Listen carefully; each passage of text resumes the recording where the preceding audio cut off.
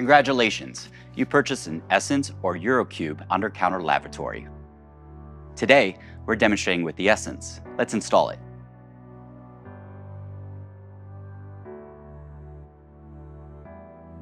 Here are a few things to keep in mind before we get started.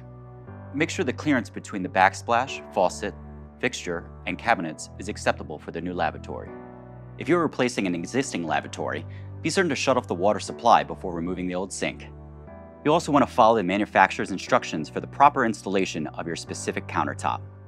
You'll want to gather the following items before you start the installation. A leveling tool, screwdrivers, caulking, and saws. And you'll want to identify and organize the hardware included. You'll see your sink, hardware kit, and template. Let's start with an under-counter installation. We're going to use our template to locate the position of our sink on the above portion of our counter.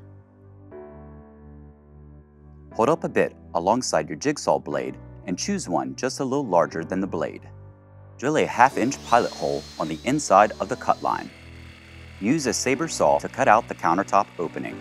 Here's a pro tip. You'll want to waterproof any exposed areas of wood. Turn the lavatory upside down and mark the wood screw holes. Drill a 3 8 by a half inch deep hole.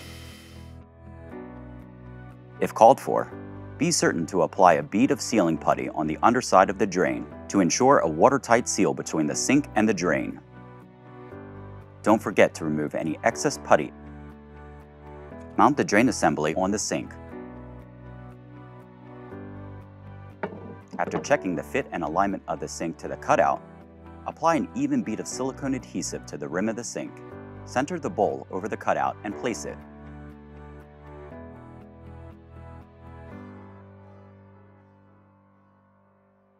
Once your new Grohe is in its proper place, simply tighten the screws to secure the bowl to the countertop. And, of course, remove any excess sealant from inside the lip. Mount your faucet on the sink, following the manufacturer's instructions.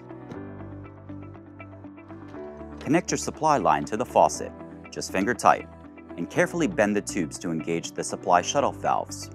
Now tighten the connections at both the faucet and shutoff valves. Don't over tighten these. Like most things plumbing, snug is all you need. Connect your trap to the drain assembly. Check the alignment and hand tighten.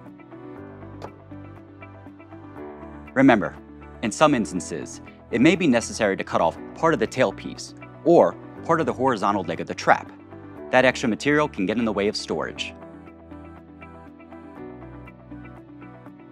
One final check to ensure all the joints are secured for watertight assembly. And your Grohe under the counter installation is complete.